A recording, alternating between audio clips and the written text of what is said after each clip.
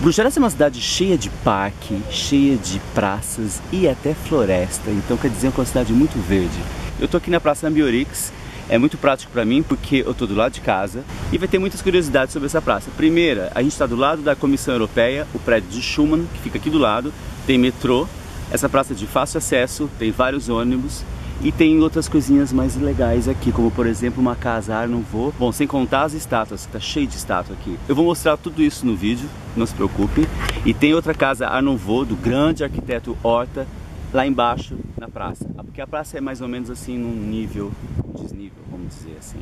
Ela começa no alto, vai terminar lá embaixo num lago. Outra coisa interessante, a estação de metrô de Malbec, que explodiu a bomba, também não é muito longe daqui, que não, isso não é coisa legal para falar, mas enfim, são curiosidades também. Então vamos lá.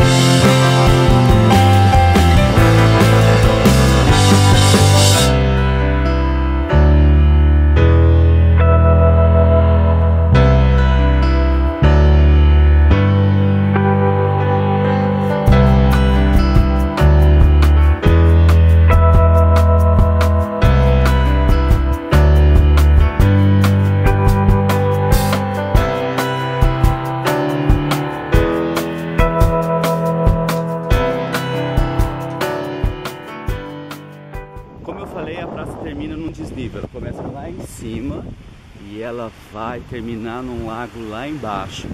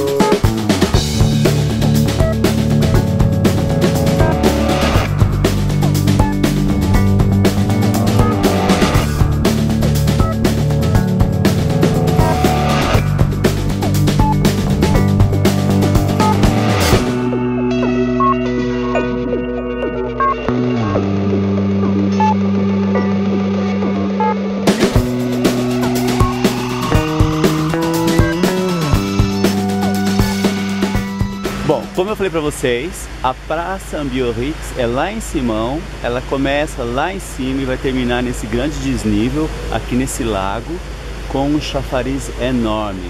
E aqui é a Square Marie-Louise.